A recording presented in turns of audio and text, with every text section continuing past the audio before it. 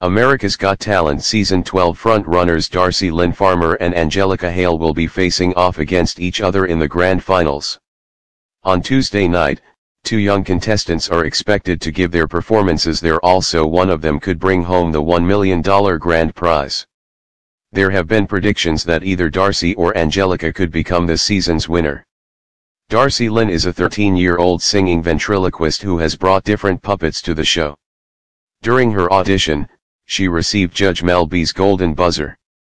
The Spice Girls member predicted that Darci Lynne could win it all, and fellow Judge Simon Cowell agreed with her. Angelica, on the other hand, is a 10-year-old singer who has impressed the judges and audiences with her impressive falsettos. She received guest judge Chris Hardwick's golden buzzer, and Judge Heidi Klum admitted during the semifinals round that she is her favorite. Fellow Judge Howie Mandel thinks that Angelica is in it to win it.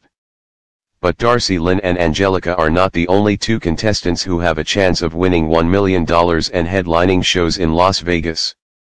Singer Evie Clair, 13, recently lost her dad to stage 4 colon cancer so she is expected to sing her heart out on stage on Tuesday night.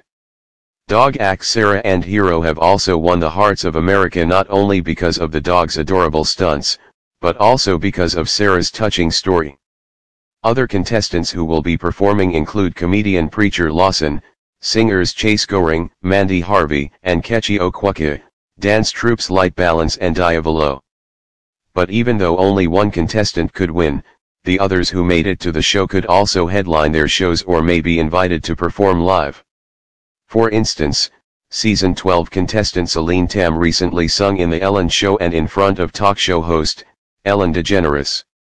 However, it was still last year's winner, Grace VanderWaal, who did not only appear in The Ellen Show, performed in Las Vegas and brought home the cash prize. She also released an EP three months after her big win and will be releasing a full-length album on November 3.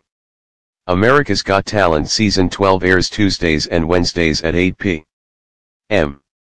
EDT on NBC.